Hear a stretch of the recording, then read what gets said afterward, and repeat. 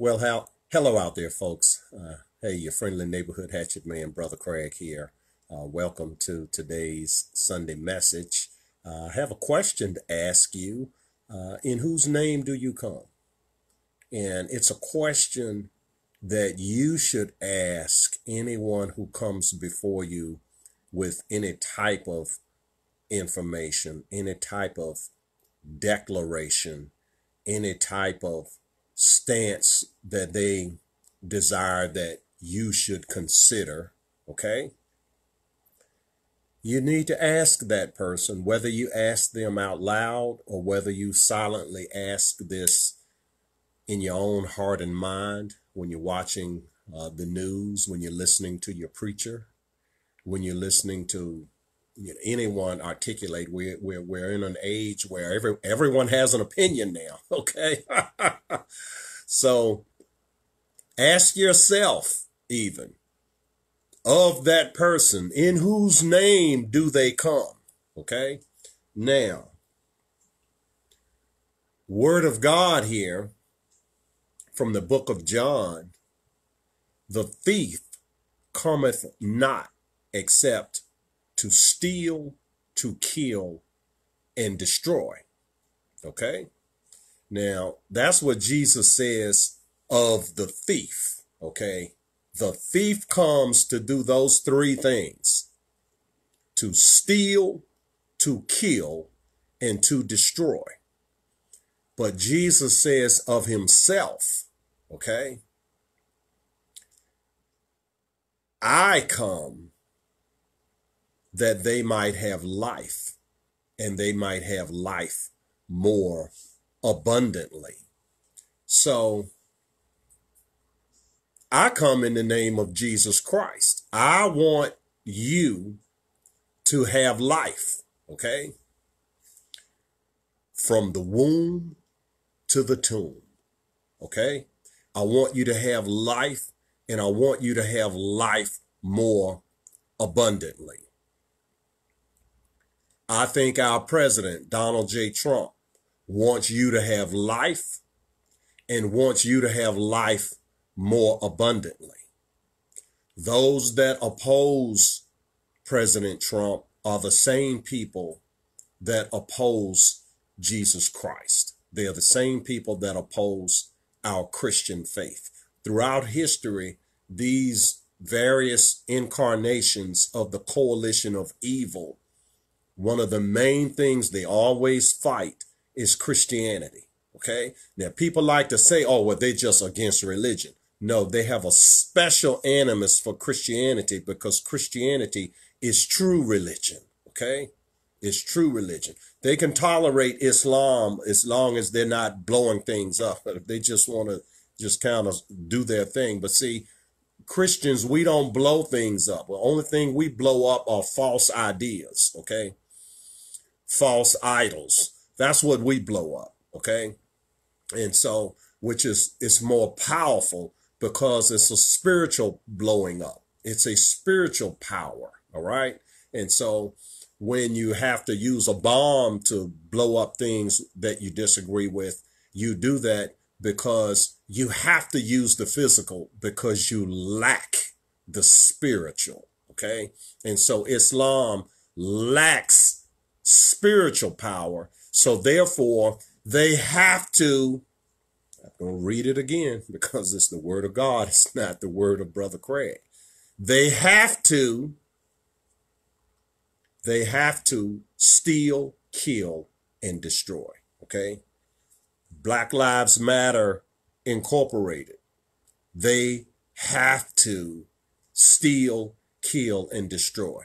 Antifa they have to steal, kill, and destroy. The Democrat Party, think about this. They run uh, every city where all of this chaos there is run by Democrats. What's happening in these cities? They're stealing, they're killing, they are destroying. Okay. The Democrats lack the spiritual power because they are not of God. Okay and saying, don't hand me this stuff about, I'm sorry, Reverend Chickenfoot. I don't want to hear it. Okay? I really don't. As a matter of fact, the only time I want to hear Reverend Chickenfoot talk this stuff is if I could sit on the stage and on the right hand side, and Reverend Chickenfoot can sit on the left hand side. Okay? And we can we can talk about it in front of an audience, all right, or in front of a camera. Then, then I'd like to hear what Reverend Chickenfoot has to say. All right. And ditto for these Democrat politicians, ditto for these neoliberal left wing idiots. Okay. I'd love to sit on a stage and have these people defend this nonsense in face of a man who totes a set of onions, who is unafraid to defend Christian faith, conservative values, constitutional limits, and capitalistic opportunity. Okay. Because we, we're going to break a lot of this down with Bible verses. We're going to find out what Jesus Christ, okay. What does Jesus think of this? All right.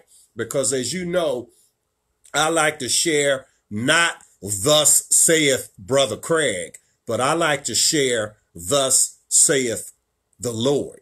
All right. And I talk about the two things that people say in polite company you never discuss. You're supposed to never discuss politics and religion in polite company. Well, I not only talk about both, I combine both, okay? The Holy Bible is the most political book ever written, ever written, okay? And so how Reverend Chickenfoot can week after week after week, day after day after day, year after year after year, how the Joker can stand in the pulpit and not discuss, not even comment on politics. Or if he does, he, you know, it's two or three minutes. Well, we, we just, we're going to pray for everyone. And we, our, you know, our nation, we're going through some very tense times now. And we, you know, we'd like to pray for, you know, everything to just work out well. And then he'll go on with his pre-planned sermon, doing the same thing he's been doing for 30 years. Okay. Same thing. I grew up as a boy here. Same sermons I heard as a boy that this is what they're doing with no linkage to what's happening today. Now, those that have infiltrated the church, those that have infiltrated other institutions, Hollywood, academia, more and more and more, the corporate world, okay? They first infiltrated the advertising branch of the corporate world. Now they've act, they've taken over the CEO um, suite uh, of of many corporations. Black Lives Matter has 1.6 billion dollars in donations. Okay, now here we here doing the Lord's work, and uh, you know we some some some months we have a hard time coming up with 1.6 thousand. Talk about one point. Well, most months we would have a hard time coming up with that. Okay. And $1.6 million from mostly big corporations. Okay. They think they're purchasing. They think that, okay, if I just give them some money, then when it comes to my business, they will not do this, what the Bible says the thief comes to do, to steal, to kill, and to destroy. Okay. This is what they think. All right. How'd that work out for Starbucks? Burnt down right here in my hometown of Richmond, Virginia. They burnt one of the Starbucks down. Now, Starbucks, they're so pro black. They're like, they should rename it Tarzan Bucks. Talk about Starbucks. You know, the great big white Tarzan who thumps on his chest and does the Tarzan yell and he's going to come and he's going to save the savages that cannot, they're too ignorant to save themselves, run around naked with a bone in their nose. Okay. That's Tarzan. The great, the great big white man, he, you know, a guy like me, I'm, I'm bad. I'm an Uncle Tom or, you know, what's the other, coconut, another one, a friend of mine shared me. Brown on the outside, white on the inside. I'm Jesus on the inside. Okay. And my outside is irrelevant. Okay. So yeah, so I'm brown, but so what? Okay. So what? I could be darker brown. I could be jet black. I could be a little bit pinkish, you know, cause I've never met a, a show enough white person, but you know, they're pink, they're beige, you know, they're orange. okay. Or going to a tanning booth. Okay. And I'm not knocking Trump. I'm just poking a little humor. I love the man. I, I, I truly love the man. I think he's appointed by God Almighty, uh, just like I'm appointed by God Almighty to man my section of the wall. I'm a watchman. Donald Trump is a watchman. Now, his section of the wall is a whole lot bigger than my section. It may be bigger than your section, but you have a section of the wall to man as a watchman or a watchwoman on the wall. Okay. And I'm just encouraging you to man your section of the wall. Okay. And if you think that's not biblical, you go to the book of Nehemiah and it talked about how the wall was being rebuilt and how each person repaired the section of the wall that was near their home. Okay. And so, and the first one that's mentioned were the preachers. Okay. That was the first one mentioned in the book of Nehemiah, the priests. Okay. They have a section of the wall. Okay. But you have a section, if it's no more than just your family, your personal family, your personal business, and everywhere where you go, you have a circle of influence. Okay. And so when you show up, people should think, ooh, there's something about that person. You know, there should be an, an aura of respect. Okay because you're a watchman, okay? There's you exude a certain something, a certain je say quoi. anyway, but look, let me get on uh, to the program today, and uh, and I really appreciate uh, you all being there. Okay, you know I get a little silly at times, so don't don't mind me. We try to, you know, being a look being a watchman is serious business, but if you can't have a little fun doing it, you know, life gets to be a, a little bit boring. Okay. So now, um, John chapter 10. Okay. Now, powerful. And I hope I'm going to try not to hold you for a whole hour like I normally do. I know, you know, people have been telling me that it's, uh, you know, an hour is a mighty long time, brother Craig. Okay. So, you know, hopefully it's not a wasted hour. We try to pack a lot in these hours, but I'm, I'm trying to cut the time down a little bit. But uh, some of the other, if you, if you have to go away, you can come back later. We post these on our YouTube channel. Uh, Brother Craig the Hatchet Man is the name of the YouTube channel. I would encourage you to uh, subscribe uh, to the YouTube channel. And if you have not done so, sign up for the newsletter at our website, thereallyrealdeal.com. Five words, okay? The really real deal.com. All right. And so uh, every time we do a new posting, uh, you will get an email that next morning with that post to include these Sunday messages that I do every Sunday, as well as any other uh, you know, if the Lord moves me to do uh, one or two during the week, uh, you know, four, five, six minute versions of passing events, then I will do so, and uh, and you will get them. So now, the um, the other Bible stories that we're going to discuss later in the program for those was one of the big things that the big bugaboos that the neoliberal left uses is this hatred of capitalism. And so, uh, and they try to hijack Jesus as though it's just, you know, he's this, uh, this, this nice man who's, you know, there's violins, there's cherubs floating around him playing the violin and another cherub is throwing rose petals down and everything out of his mouth is peace and love and, take take all of all of the money from the rich man and give it to the poor man. Nothing could be further from the truth folks okay? And these people they do not open their bible. They cannot cite in the bible where it's it, it says any of that okay but i can cite some things in the bible that are a defense of capitalism okay and i'm going to do so today okay so now again, in whose name do you come? Okay, the destroyer or the giver and sustainer of life. Okay, now we're going to go straight to the um, well there's one other thing i need to i need to make a before we go to our the next subject okay i want to make a linkage to this destruction of um, you know it was brought to my attention another uh, silver bullet for the Chinese Wuhan virus. Okay, they call it COVID 19. I call it the Chinese Wuhan virus. Okay, which is a, a biological weapon that uh, our Chinese enemies launched against this nation with the help of the Democrat Party. Okay, and so because you know under the Obama administration, the uh, Centers for Disease Control had a multi-billion dollar grant that was given to the very same Wuhan laboratory uh, where this uh, this virus originated, which is nothing more than SARS 2. Okay, we remember SARS 1 several years ago. Okay, the world didn't come to an end with SARS 1, and there was SARS 2.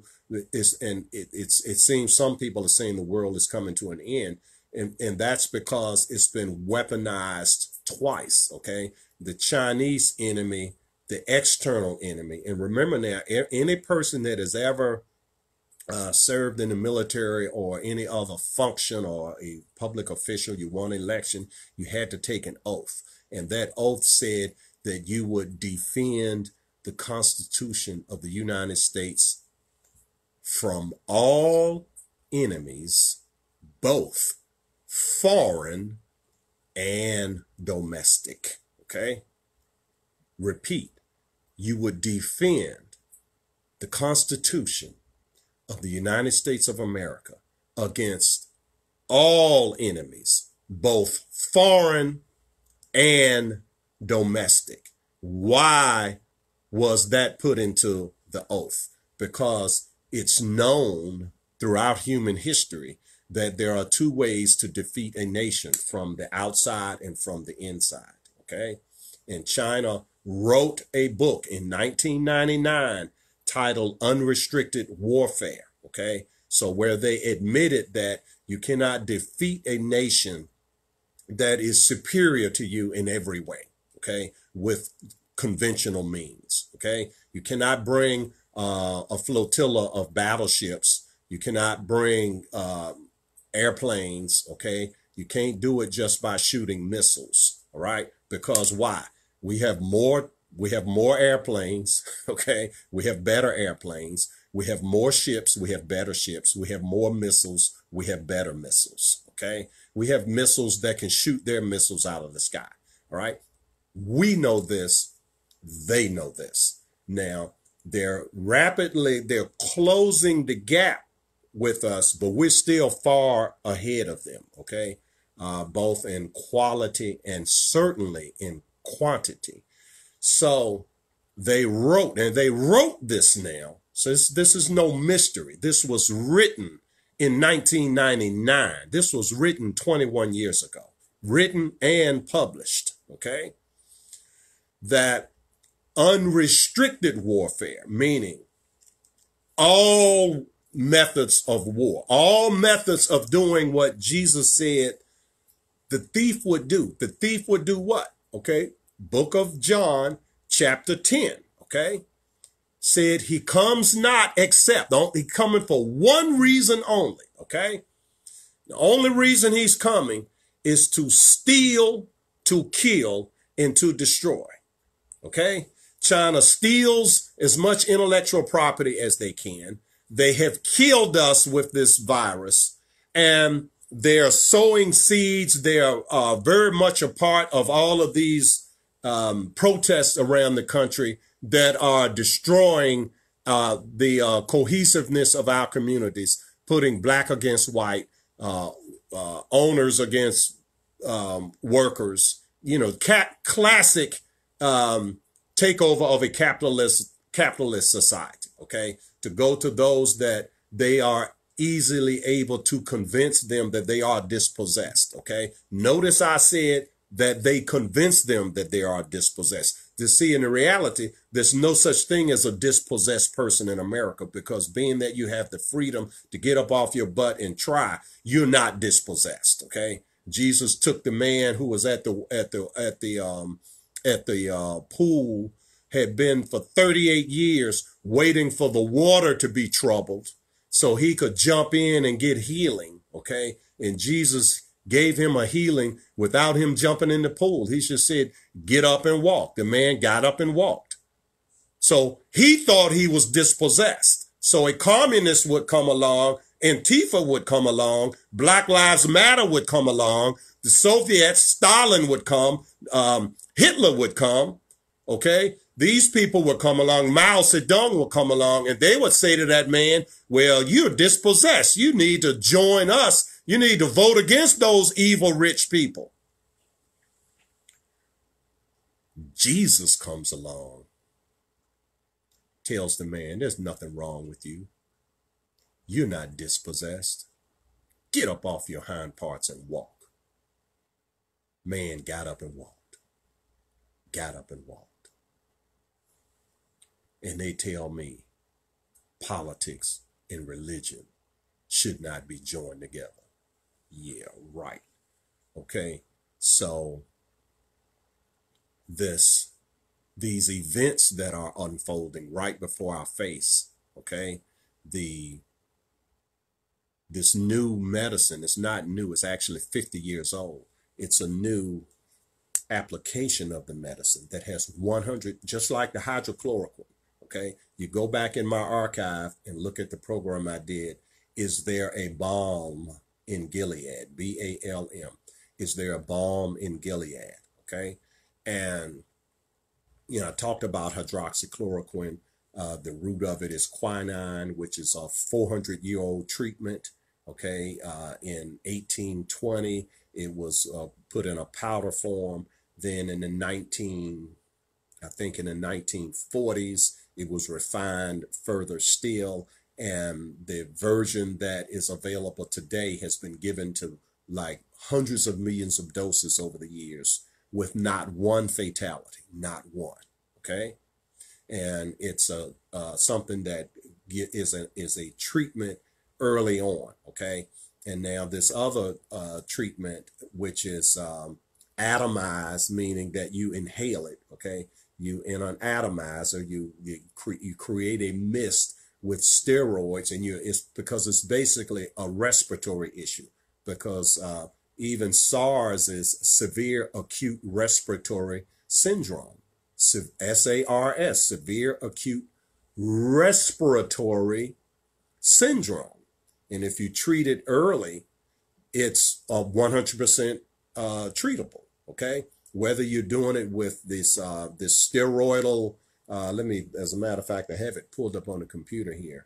And again, this is we we're in our subject here of to kill, steal, and destroy. This is what these people do. They they're not uh, they're not uh, making a mistake. Okay, it's not that they are they're ignorant and they just they just don't know. That's not the case. Okay, these people are evil and they're wicked and they are murdering people. Okay, there's no it's no different from Dr. Mengele and the doctors in the Nazi regime. They were doctors too, you know. And in our country, we think, oh, put a white coat on, a stethoscope around your neck, and oh well, this Dr. Fauci or it's Dr. Birx. Okay, these people are evil, just like you know, if you could bring Dr. Mengele back and you could put a white jacket on him and a stethoscope around his neck and put him in front of a, a, a, TV camera and all these idiots on Fox News and CNN and MSNBC, uh, they would just give him all kinds of credibility. Well, Dr. Mengele, you know, tell us, what do you think about this virus, sir? And then it get put the microphone in front of his face and you'd have evil Nazi Dr. Mengele and you'd have a, millions of idiots out here thinking, oh, well, Dr. Mengele said, you know, we should just go home and close the door and, and, you know, and if we get sick, then we can go to the hospital and get on a ventilator. And see, it's, it's the height of evil. It's the height of evil. And our preachers need to preach this. Okay. I'm one man preaching this. I'm one. Okay. Can you imagine if every preacher of the gospel of our Lord Jesus Christ would stop whining and crying like a little Girl Scout. Ooh, ooh, I can't get political. Half my congregation is Democrats. They might stop coming to church. You know, be a, a whole lot of folks that might stop coming to church if more truth were preached. Okay. And so let him that will come. Okay? Just preach the truth. And then those that don't want to hear the truth, let them not come. Let them not come. Okay? There's some church out there somewhere where they're preaching lies, and let them go to that church. Okay? You know, maybe some pruning is needed, just like in in uh, husbandry of plants, you have to prune, okay, for the health of the plant. You can't let the plant just keep getting bigger and bigger. You know, a storm comes and it's going to get broken off anyway. So you might as well prune, have a healthy plant, and it won't break. It, it, it won't get disease. It won't die. Okay? So, but this um, clarithromycin is, is one of these. It's a classic corticosteroid. Okay? One is called budesonide. Okay? It's administered via a nebulizer. Okay? And then you have this uh, this oral antibiotic known as clarithromycin. All right, and so you combine those two, and they say it has it has, and this is a, a treatment that was uh, patented in 1973. Okay, 1973. All right, not quite as long as hydroxychloroquine, but a very very long time, very long track record. It even has been given to little infants. Okay. Very, very safe. Very safe. Okay. And so, but what they're wanting to do is come up with a vaccine so that, uh, and I think, uh, I forget the name of the company, but one company recently got a $1.5 billion contract to create a vaccine. It's an unnecessary vaccine. I'm not taking it. Okay. You can do what you like. I will not take their vaccine, period. Okay? And if they tell me I can't go certain places because I have not taken the vaccine, then I won't go to those places. Okay? It's just like I don't wear the mask. And if the people insist, well, you can't come in here without a mask on, then I just say, well, thank you, sir. I'll take my money elsewhere. And that's what I do. Okay? I take my money where I'm welcome. And uh, but now here recently, I've, I've had to do that. I've had to walk out of some places because they wouldn't let me in. But here recently, I've learned that all you have to do is tell these people that I have a health condition that prevents me from having to wear a mask. And by HIPAA regulations, which is federal law, they cannot deny you access, nor can they even ask you what that uh, condition is. Okay. Now, there have been a couple of times when I just volunteered what the condition is. And the condition is I need the full amount, I need the mixture of oxygen and uh, and and nitrogen and carbon dioxide that God created in the atmosphere. That's the that's the amount I need. Okay, 35% oxygen, 64% nitrogen, what five or six percent carbon dioxide, whatever whatever it is. Okay, but when you rebreathe you exhale carbon dioxide, when you rebreathe that, you're not getting that small amount of carbon dioxide that's naturally in the air. You're rebreathing your respiratory waste product. And there are many people that have actually died from wearing masks all day long. They've died from this. Okay? And you won't find this on the news. Google it, okay? Just now, remember when you Google stuff, you have to be persistent because Google will give you uh, wrong information in the first 15 or 20 items. You have to click the next page and the next page and bury it down deep into Google will be the truth. They're not, Google will not give you the truth right up front. So be persistent, okay? Be persistent. So, but the information is out there, okay, and it's you know not trying to make anyone sick or anything, uh, but these these viruses are floating in the air. The human body has the ability, if you do not have a compromised immune system, your human body has the ability to handle this, and people are not explaining this properly because this is a psychological warfare program that's being run on this nation. It's not medical science, okay? People are not going to die from this, okay? And the uh, the 150,000 or so that have died, uh, most of them had other diseases and many that did not die from COVID, they're saying they died from COVID. Now, when people have to, uh, when people have to, when people have to really, really lock themselves down, it's because their system is so compromised, they're weak.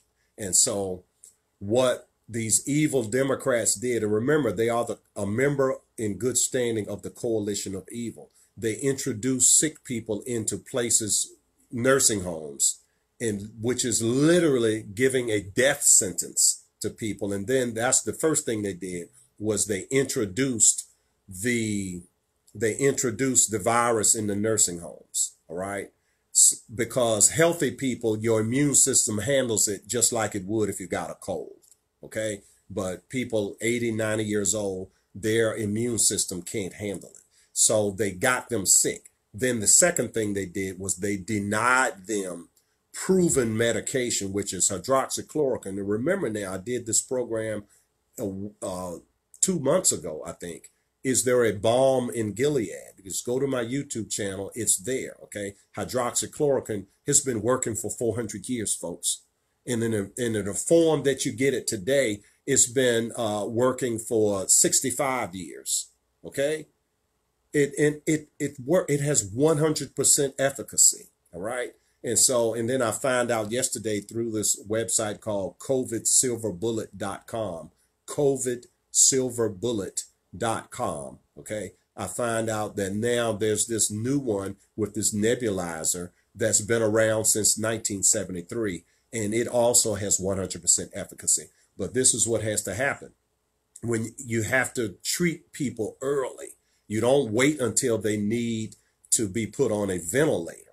Okay. And so the evil, wicked um, Democrats in these Democrat states, and I think unwittingly, uh, Trump allowed these people to manipulate him. I can remember when uh, Governor Cuomo was whining and crying about, oh, we need ventilators, we need ventilators, okay? And then President Trump would be, he would boast about, well, they said they needed ventilators. Well, we sent them 20,000 ventilators. We got all these companies to stop making cars and start making ventilators. We, we're the king of ventilators. A ventilator is a beautiful thing. Yeah.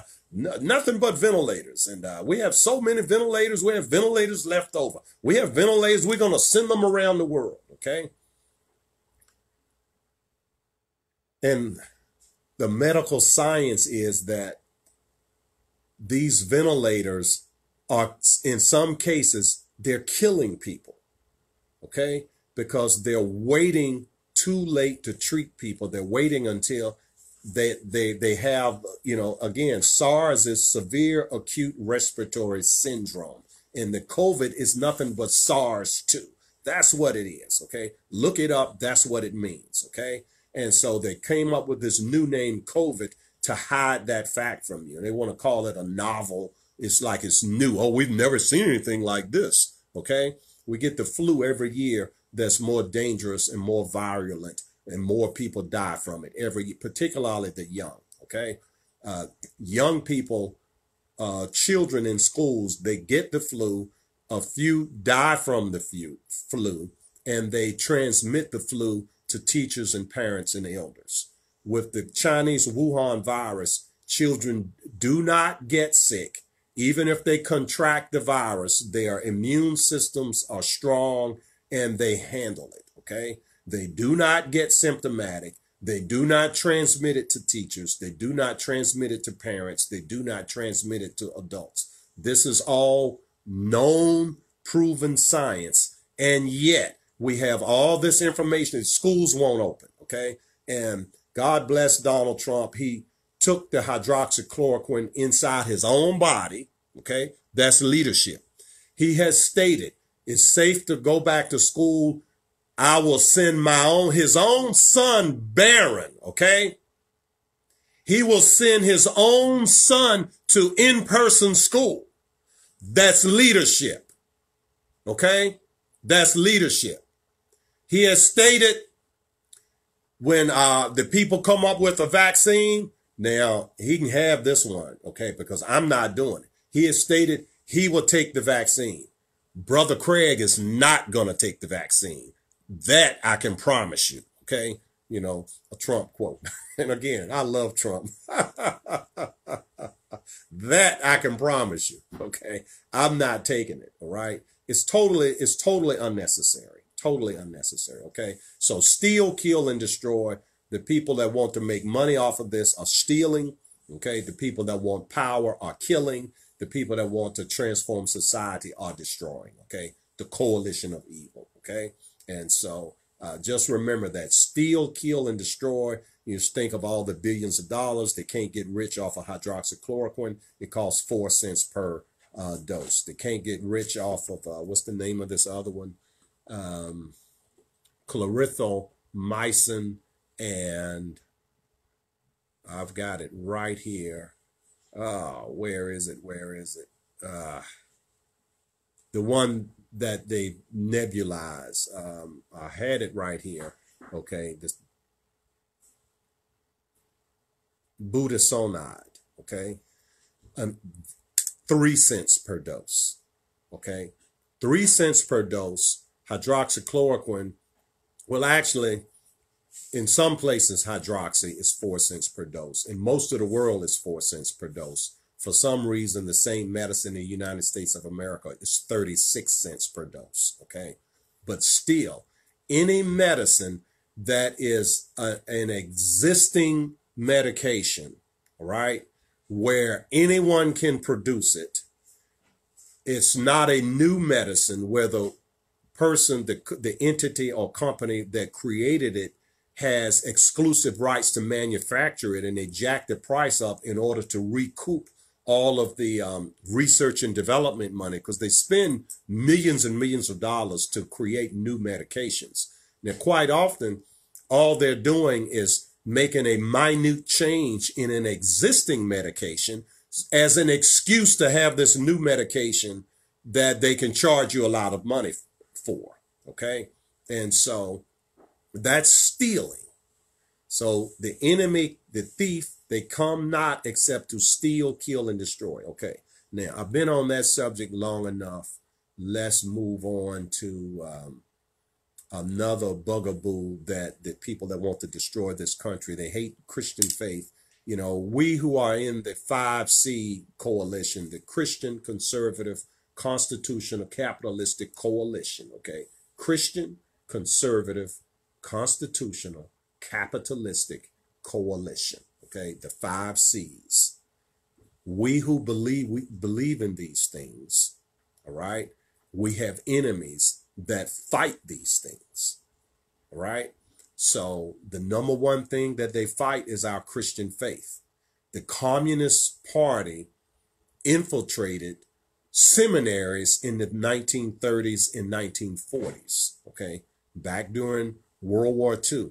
They infiltrated. Okay. So by the time the 1960s came around, they had the people that they had planted, young people that they had planted in the bottoms of these places had risen to the top and were running the show. Okay. So the next time that things blew up in this country was the 60s.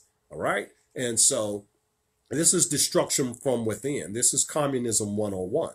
This is what they do.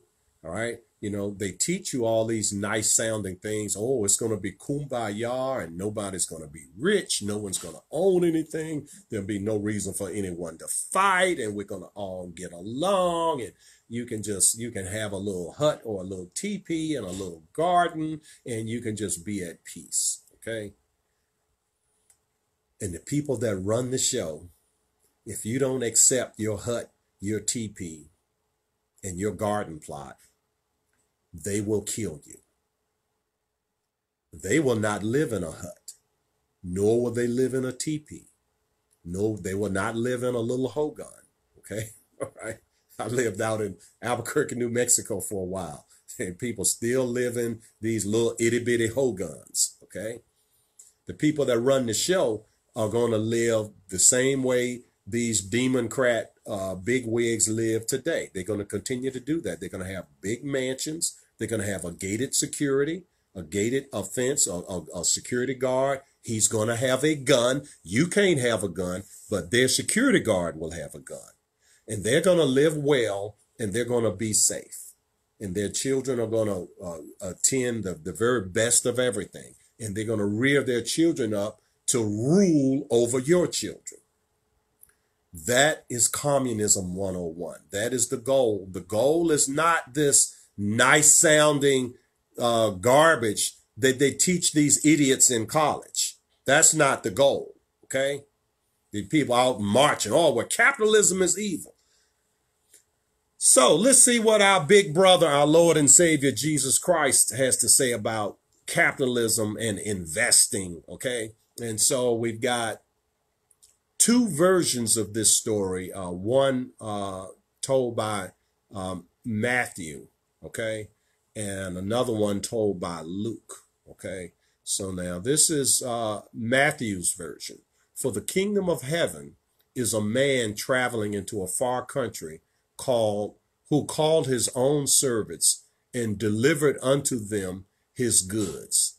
And to one he gave five talents. Okay a talent is an a certain amount of gold and it's a lot of money okay if you were to from then to today okay it's a lot of money okay so he gave five units or five talents of gold to one servant another servant he gave two and to another one he gave one okay so you the first thing you might say the communists would say well brother craig uh, you know, why he didn't give each one of them two, or why didn't give each one of them three? Why did he give one five, one two, and the other one one? Answer is right here in the Word of God. Okay, and this is, and if you want to read this uh, on your own, it's chapter twenty-five of Matthew. All right, chapter twenty-five of the book of Matthew.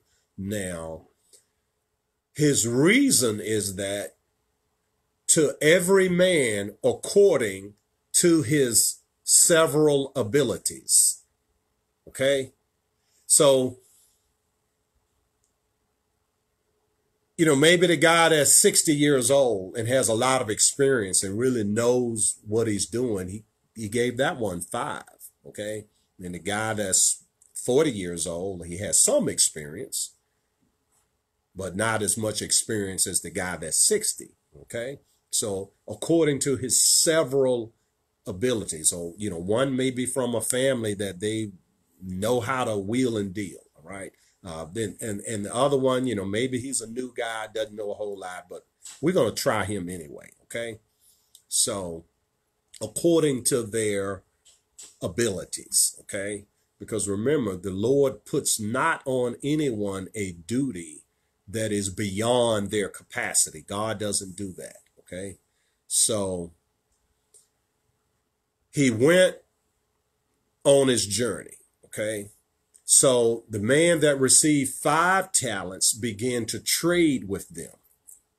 And he soon doubled it. He had produced five other talents in profit. Okay. The one that received two, he traded with the two and he had produced a profit. Uh, both men produced a 100% profit. The five became 10, the two became four. Now, the man that had one, he lived in fear. Okay. Now, listen to his reasoning here. Okay. He dug a hole in the earth and put it in the hole. Okay. So, because he didn't want to lose it. See, you have to see this thing about capitalism Capitalism, the root word of capitalism is capital. Capital is something you have already earned. Okay. And so this is why capitalism is sacred because it's the substance you've put your blood, sweat, and toil, and you have already earned something. Okay. It is yours. So you, in order to earn more, you have to put that which you have at risk. Okay. And so by putting it at risk, it's in play. Okay. And you're uncertain how it's going to turn out. You may win, you may lose. Okay. So you start out with a hundred thousand dollars, you go out here and you buy a, um, you buy a house, okay, and say the house costs you $75,000 and you think you can repair the house for 25,000, okay?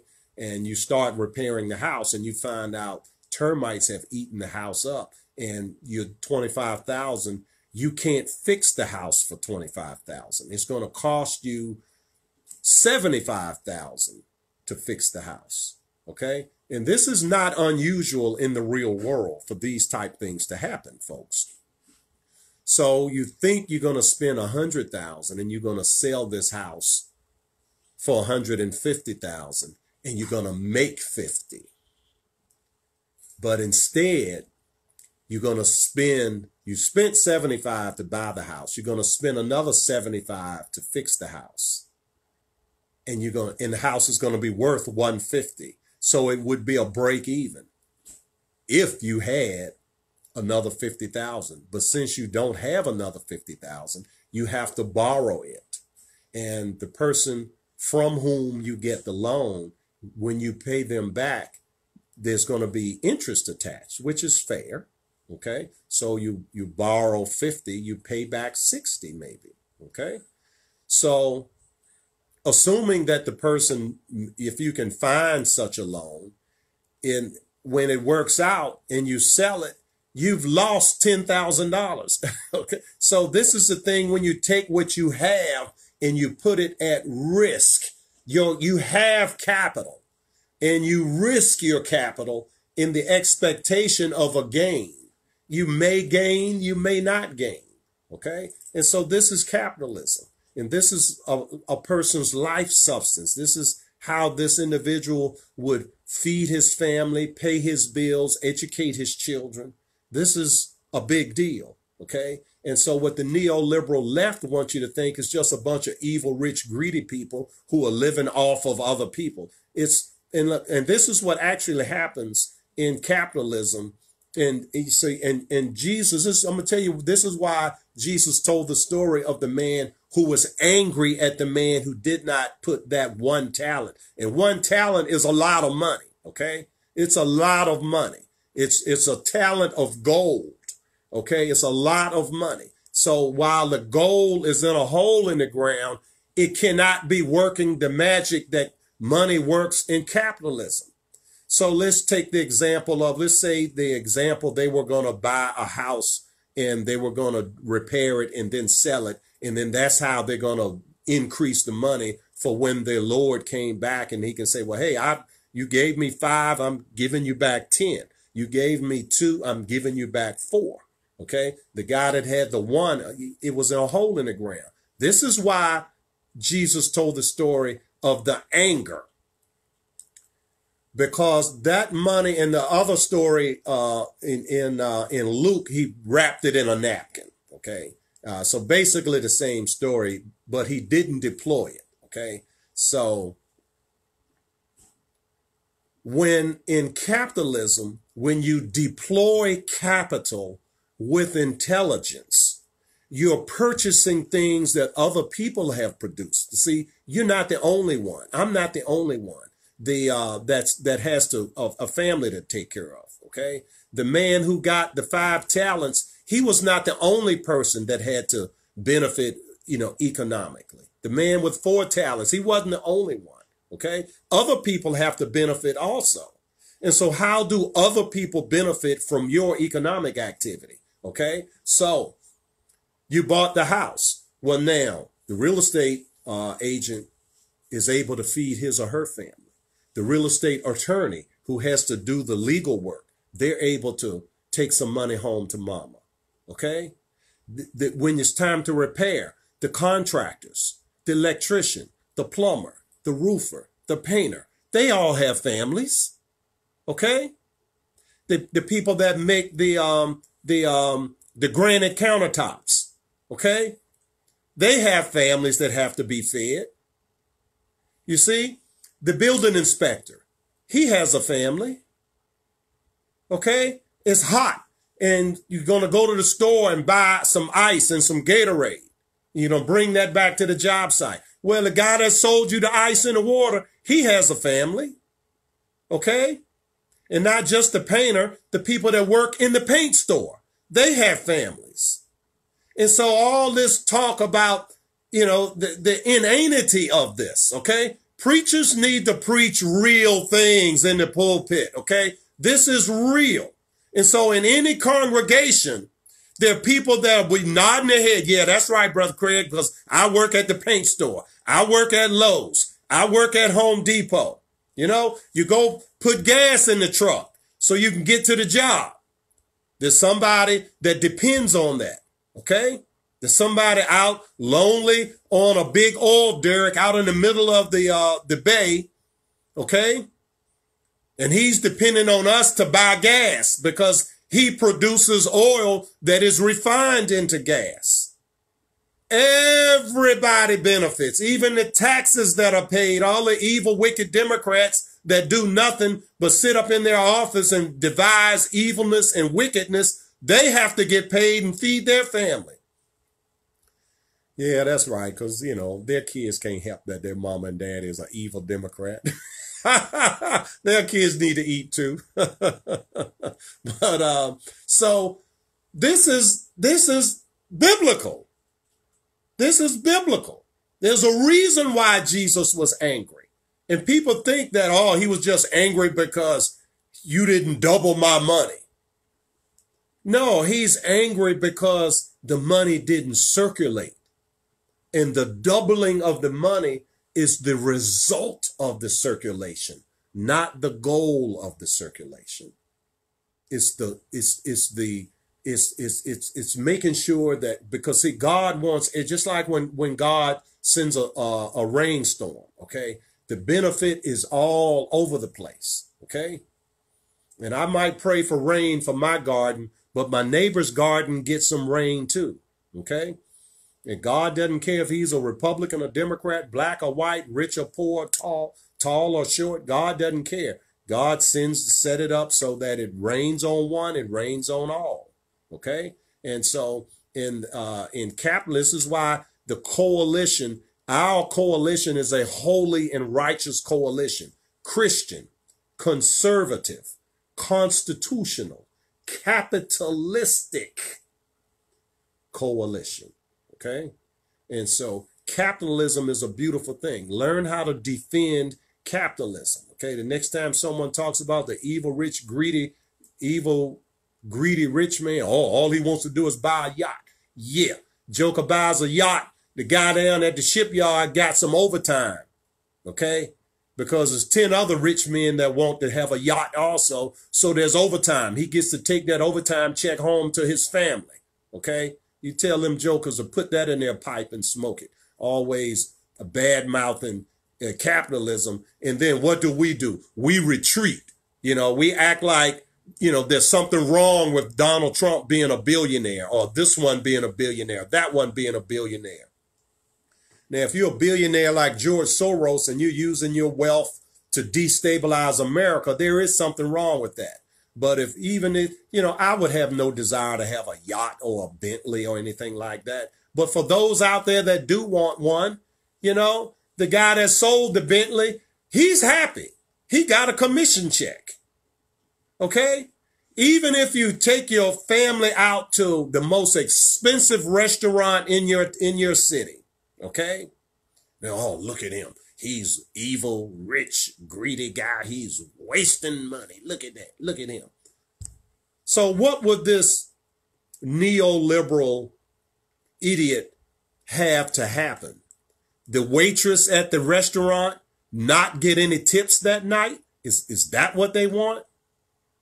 Because, see, that's what's happening all over the country. People are not able to earn. This is war. This is economic war. Economic war. And it's waged, the biological war was waged by the Chinese. The economic war is waged by the Democrats. It's biblical. Okay? Read it yourself and ask yourself, wow, why was there so much anger? Okay, let me show you how much anger there was. I'm going to go through this one and the other one, and then we're going to close it out. Okay? And um, so, now listen to what the Lord said to those that did that doubled his his money, not their money. They doubled the Lord's money. And then listen to what he said to the person that did not even deploy God's money. God doesn't want his money sitting in a safe. It can't benefit anyone. Okay. Even if you just put the money in the bank or if you buy stocks with it, if you buy stocks with the money, the company that sold you the stock, they use that money to retrofit factories, hire new employees, upscale their training so they can be more competitive in the marketplace. The benefit just flows. Okay. It been, there's nothing you can do with money except put it in a safe that does not benefit other people. And this is what God wants us to do. Be a blessing to others. Okay. Be a blessing to others. Now don't donate your money to Black Lives Matter. They've gotten $1.6 billion to go around this country and to steal, kill, and destroy. Okay. So now, and another thing people do, rich people do, rich people donate. People that are not so rich donate. Okay. And so if you, you know, this wasn't my intent, but now I'm going to say it. Okay. The Lord put it on me to say, if, if you're looking for somewhere to donate, the First Amendment Inc. Okay. That's our, that's our organization. You go to our website, thereallyrealdeal.com, thereallyrealdeal.com, click the donate uh, button. And uh, we, we will definitely, uh, we have been putting uh, other people's money to very, very, very uh, good use. Never has a salary come to uh, Brother Craig. Never, never has. Okay, in 12 years. Okay, there, but there's uh, much work that can be done with God's money that you have possession of. A lot of good that can be uh, done by that. Now, the uh, the enemy, they're not bashful about giving money to demonic uh, organizations. Uh, the Democrat Party is bursting with money. Black Lives Matter has 1.6 billion dollars, not 1.6 million, 1.6 billion. Okay, and ditto, and I could name just many, many, many uh, left-wing organizations whose goal is to destroy Christianity, to destroy capital, free market capitalism. Anyway, they love crony capitalism. They hate free market capitalism,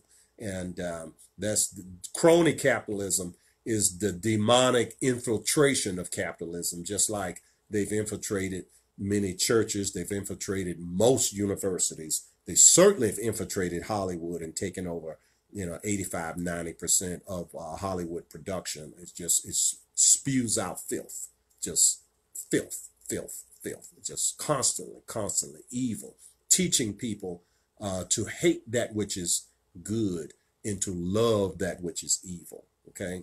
So, but we uh, we who are watchmen on the wall, we have to get up off our tuchus and uh, and do something about it. Okay, a lot of folks talk about it. Your friendly neighborhood hatchet man, brother Craig, I do my part to do something about it, and I'm asking you to do your part. And so now back to this, so I can wrap things up uh, for the day. Now, the um, notice what the Lord says to the, the, the gentleman with five talents and the gentleman with two talents. He says the same thing to them. Well done, good and faithful servant. You've been faithful over a few things. I will make you ruler over many things. Enter into the joy of thy Lord. Okay. And then the one that received one talent came and he said, Lord, I knew that you are a hard man. Okay. Listen to this now, particularly those of you who may be under some impression that Jesus is just, you know, this nice guy that's walking around saying these little soft things. Okay. Listen. Jesus told this story. Okay. It's being recounted here in the book of Matthew. Then I'm going to go over in Luke and I'm going to read what Luke wrote about. Both of them witnessed Jesus say this, okay? So Jesus tell is telling this story, okay? Lord, and he's talking, Jesus is now talking about the man who dug a hole and put the one unit of gold in the ground rather than put it at risk and let it circulate in the economic system where it not only could grow, but it could benefit other people. So he says, I knew that you are a hard man. You're a hard man, okay? You reap where you have not sown, you gather where you have not strawed. And I was afraid. And I went and I hid the money you gave me in the earth. And lo, there, now you have it. And his Lord answered and said unto him, Thou wicked and slothful servant, you knew that I'm a hard man. You knew that I reap where I have not sown. You knew that I gather where I have not strawed. Though, shouldn't you have at least put my money to the exchangers? In other words, buy a CD, deposit it in the bank. Okay. Then when I come back, at a minimum, I could have my money with interest. Okay. Now remember what I told you now. The only thing you can do with money that does not benefit someone is to do what this man did. Dig a hole or put it in a safe or but because even if you put it in the bank, the bank loans it out to people. That's how they pay interest. Now, granted, today is a little teeny bit of interest, 1%, 2%. It's not much, but it's something. Okay. Because and the bank loans it out and so other people get to benefit from it. Okay. And this is what God wants because it all belongs to God. And God wants to see who can circulate what is His. Okay. So now, let me get back to my point here. Uh, okay. So at least I could have got my money back plus interest. Therefore, take the talent from him. He's talking to the, his other servants and give it to the man that has 10. For unto every one that has, it shall be given. And he that has, he, he shall have abundance. Okay. But from him that has not, it will be taken even that which he has. Okay and cast ye the unprofitable servant into outer darkness. There shall be weeping and gnashing of teeth. Okay. So it's, you know, send him to hell, basically. All right. There's going to be weeping and gnashing of teeth. All right. So now, last thing we're going to do, and then we, I'm going to let you go. I appreciate you all being here, and I see you all up there. And I, I appreciate it. All right. Now, the same story being told this time through the eyes of Luke, the physician, okay? And I'm going to read the part before the story this time because in it, it there's a link to it, okay? Behold, there was a man named Zacchaeus who was chief among the publicans, and he was rich, okay? He wanted to see Jesus, and he could not because it's, it's written here he was of little stature. Okay. So here you have, um, he's rich, but he's not a big shot. Okay. So he can't get close to Jesus. The big shots are getting, they said there's a press, so there's a crowd around Jesus, and he can't make his way through the crowd. So he climbs a tree so he can have a good eye shot. He just wants to see Jesus. Okay. And so, and he ran and he climbed a sycamore tree to see him because he knew Jesus was going to pass that way. So Jesus came to the place, looked up. This is in Jericho, okay? Saw him and said unto him, Zacchaeus, quickly come down because I have to spend the night at your house tonight. Okay. So here's a person not of he's he has money, but he's not of high stature. This is word of God. This is a story. Jesus is telling this story. Okay. And well, at this point, it's Luke recounting Jesus talking. Okay. And so uh, the people saw it and they murmured. Okay. See, people a lot of times people are envious. Okay.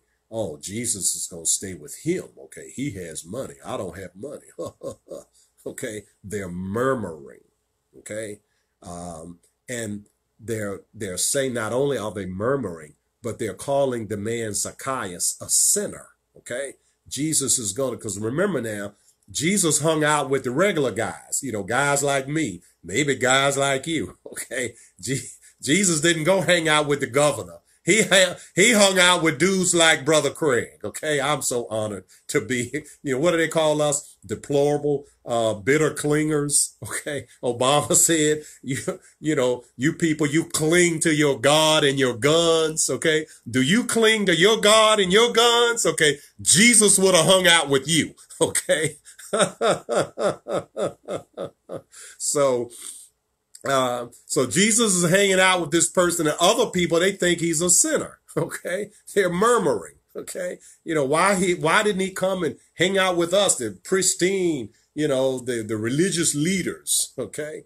Um, so Zacchaeus stood and said to the Lord, Behold, Lord, half of my goods I give to the poor. And if I have taken anything from any man by false accusation, I will restore him fourfold. Okay. And Jesus said to the man, This day is salvation come to this house, for so much as he is also a son of Abraham. Okay. And so, the, in other words, this man is Jewish He's just not in the Jewish hierarchy. And so the Jewish hierarchy looks down their nose at him. Okay. Because he's he's an ordinary guy. He's done well for himself, but he's ordinary. And uh, see, and Jesus loves the ordinary. Okay. Because Jesus has sharp things to say to people that are in power. He has sharp things to say to the uh, disciples that were with him. Okay. Because remember now, he told them, you know, you don't get it, uh, you know, are you, are you, well, do you not get it? Okay. Are you dense? Okay. Or why are you sleep? I'm sweating blood and you're asleep. You can't stay awake with me. See, this is why I call certain people decaffeinated Christians because Jesus said they don't have enough energy to stay awake and, and to fight the fight. Okay. You can't stay, you can't hang with me for another hour. You got to get some sleep. Decaffeinated Christians, okay? Don't get mad at me. I'm just quoting the Bible, okay? If anyone thinks I'm quoting it out of context, shoot me an email. We can talk about it, okay? Now, back to uh, chapter 19 of the book of Luke, all right? Now, Jesus says, Okay, he is also a son of Abraham. In verse 10, for the Son of Man is come to seek and to save that which was lost. Okay. So Jesus is is is seeking and saving, and you got people that are murmuring over his choice of uh, company to keep. Okay. And Jesus, he's not paying them any attention. He's focused on doing what he has to do. He's come to seek and to save now that which was lost. All right. And so listen at how this is phrased here. And as they heard these things, he added. Okay. So the people are listening to what Jesus is saying.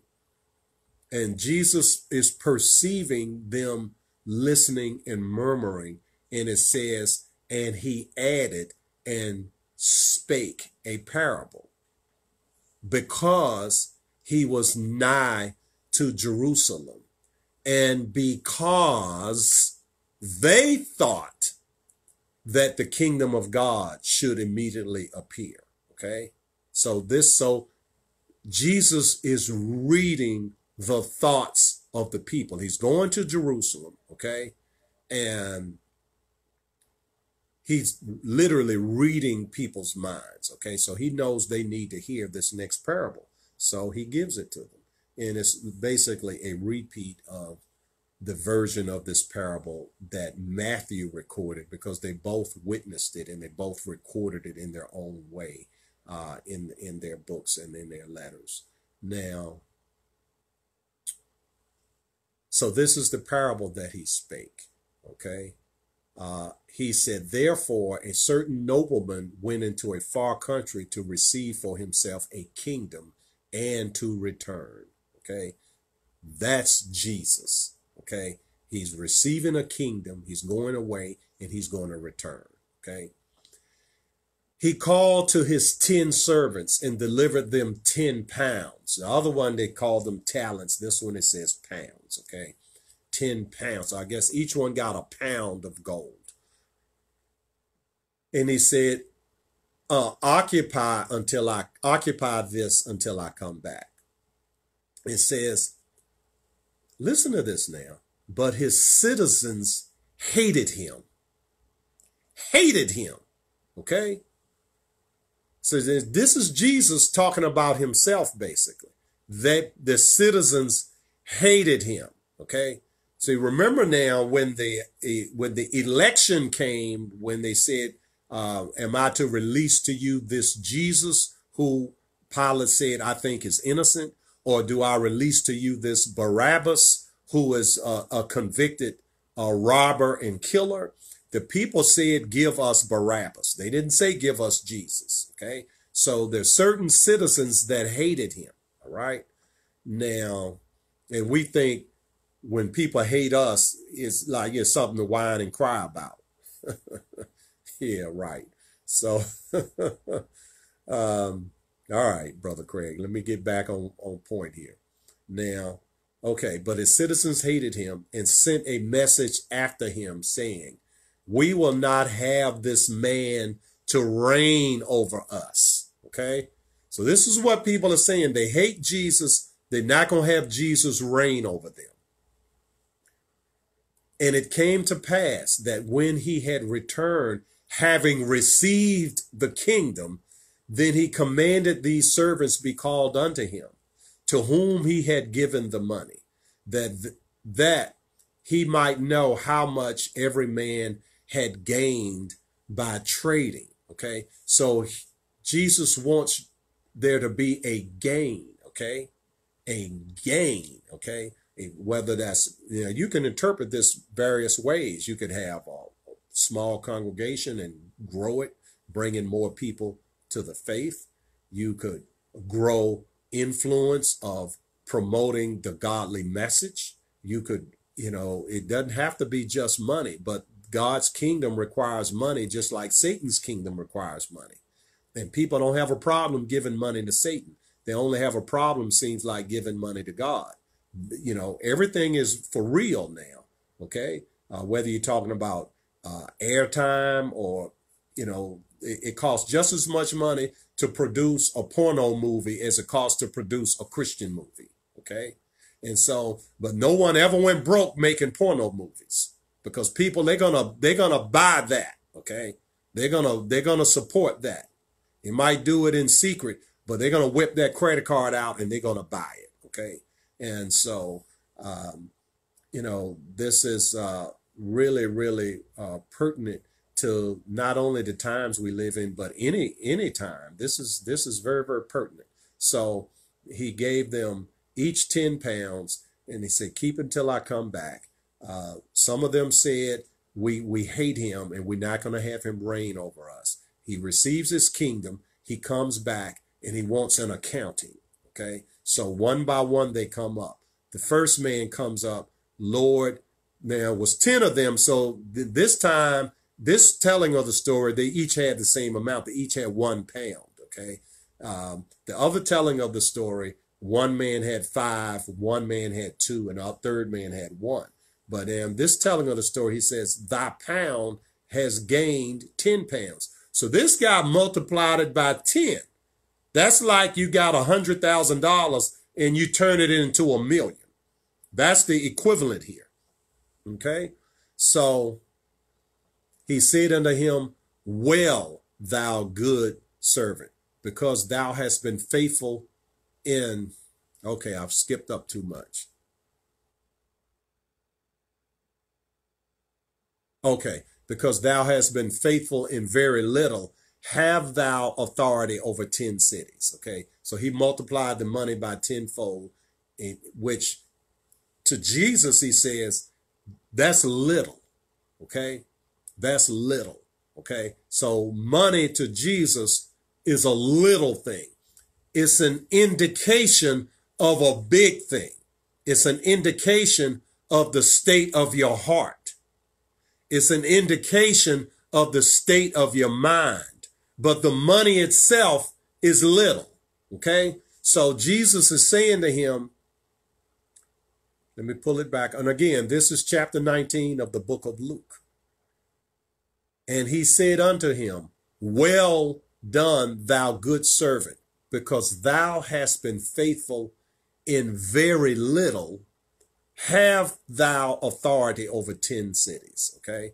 And the second man came, he gained five pounds. Okay. He took the one and made it into five. And again, that's like he gave him a hundred thousand dollars worth of gold and he's returning five hundred thousand dollars worth of gold.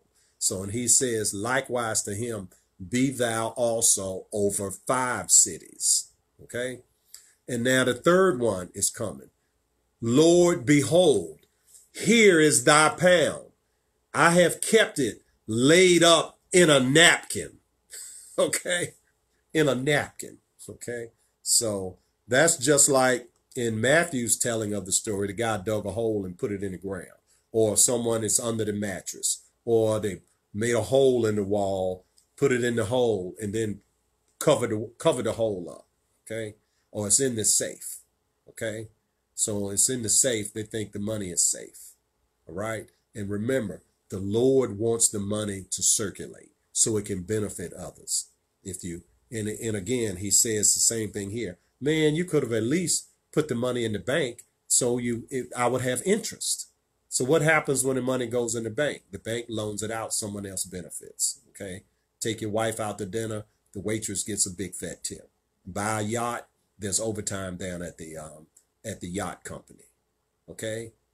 Build an addition onto your house. All kinds of contractors are happy. Okay? The framer, the roofer, the electrician, the plumber, the sheetrock guy, the painter. Okay? Not to mention the architect. Okay? If it's that elaborate where you need an architect, but the money circulates. This is what God wants. He wants his money to circulate. Okay? His money. Okay? Or again, you know, people donate. Okay. But um, so let me finish this up. All right.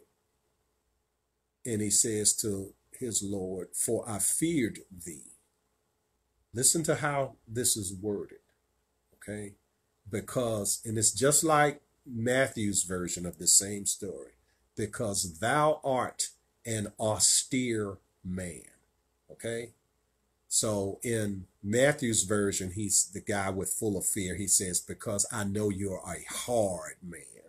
Okay. And so again, people think of Jesus as, you know, soft. Okay.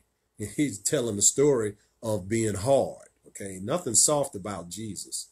And uh, so, oh, I would love to have more preachers preach like this. Okay. Jesus.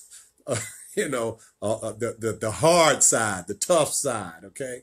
And, but it's a story with a point, okay? Because, it, you know, he wants things to circulate so that more people can benefit, okay? He wants things to grow so that the benefit reaches more people. He wants this program to grow. So his wisdom, this is not my wisdom, his wisdom can reach more people because if you turn the news on, it's obvious that there's a lot of uh, lack of wisdom going on out here. Okay, so um, now, and it says another came. Okay, and he feared thee. And see the the rest of these people, it was ten of them. Okay, the first two, the first one multiplied it by ten. The second one multiplied it by five. Now here comes the third one put it in a napkin. and says, I will, out of thine own mouth, I will judge thee. Okay. So he's saying that out of your own mouth, you said, I fear you because you are austere, because you take up what you have not laid down and you reap what you did not sow. Okay. And so he said, out of your own mouth, you just told me that you knew that I was a hard man, an austere man. I take up that which I lay not down. I reap that which I did not sow. Okay. He says, wherefore then, why didn't you give my money to the bank? So at least there could be interest. I don't like this term. They use the term here, usury. I, I don't like that term, but I think usury is a usurious, unreasonable amount of interest where you're taking unfair advantage of someone who's desperate and they can't say no. Okay. I think that's usury. And, um, but, you know, you have all these various interpretations uh, because it was not written in English. Okay, so that's you know the Brother Craig version there. It, I'm reading it. It does say usury.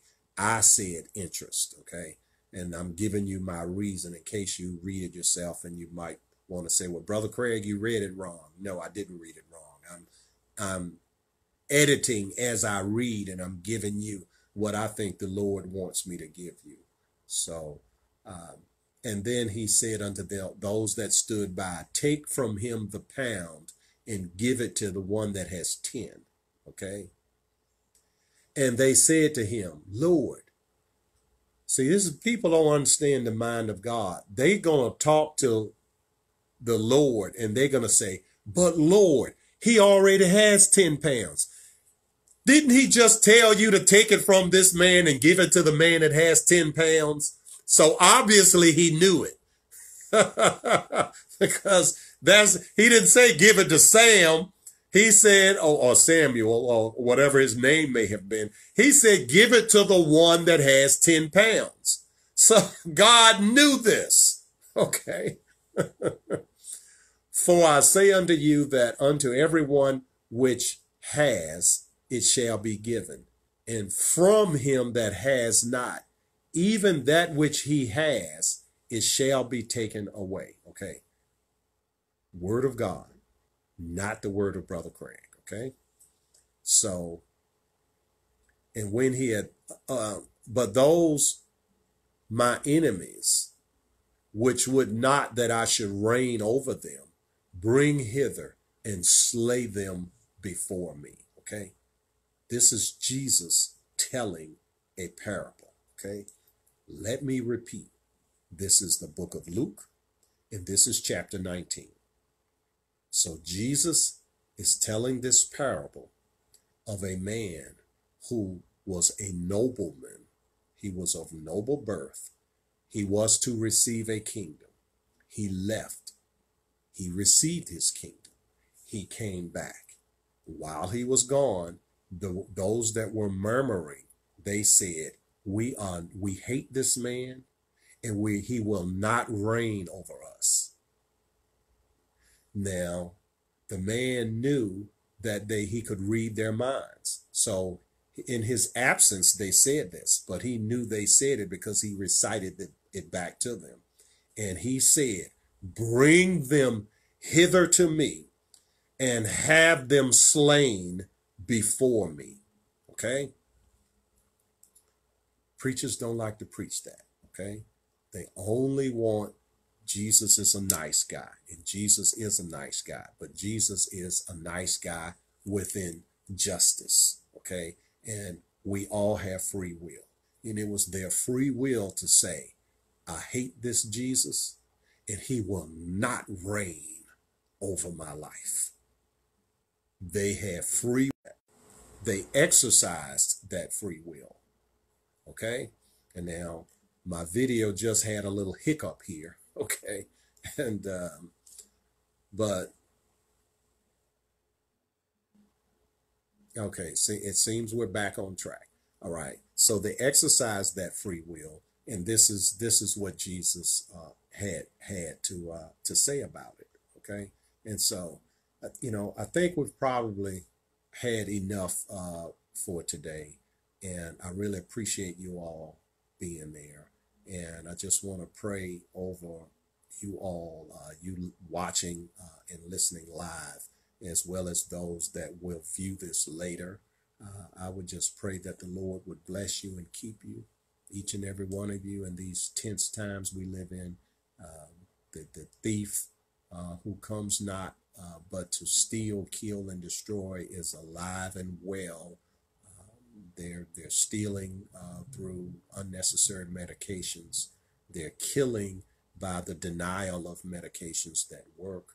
They're destroying by allowing this chaos when it's so easy. Uh, it's so easy to stop. Okay, steal, kill, and destroy. It is satanic.